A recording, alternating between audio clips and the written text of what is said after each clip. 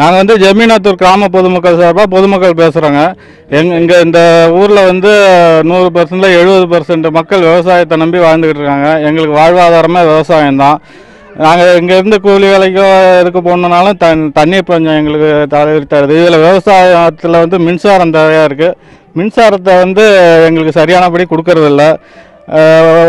ரெண்டு வருஷமாச்சு நாங்கள் அதை ஏஐகிட்டையும் சொல்லிட்டோம் ஜேஐகிட்டையும் சொல்லிட்டோம் பெட்டிஷனாகவும் கொடுத்துட்டோம் எந்த விதமான பலனும் கிடைக்கல வாரத்துக்கு ரெண்டு நாள்னு பிரிவினை மூலமாக எங்களுக்கு மின்சாரத்தை இயக்க சொல்கிறாங்க வாரத்துக்கு ரெண்டு நாளுங்கிறப்ப நாங்கள் வச்ச பயிரெலாம் வெயிலில் வாடுது சரியான பொருளாதாரம் கிடைக்கல பு- இட்ட பயிர் அப்படியே கருகுது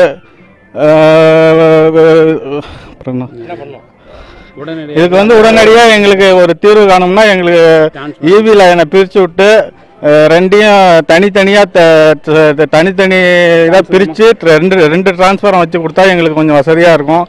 நாங்கள் இதே நம்பி இருக்கிறதுனால போன வருஷமே எங்களுக்கு வந்து எல்லாமே பஞ்சத்தில் வறட்சி கொஞ்சம்னா ஈபி லைன் மூலமாக எங்களுக்கு பெருத்த வருமான நஷ்டம் ஏற்பட்டுருச்சு.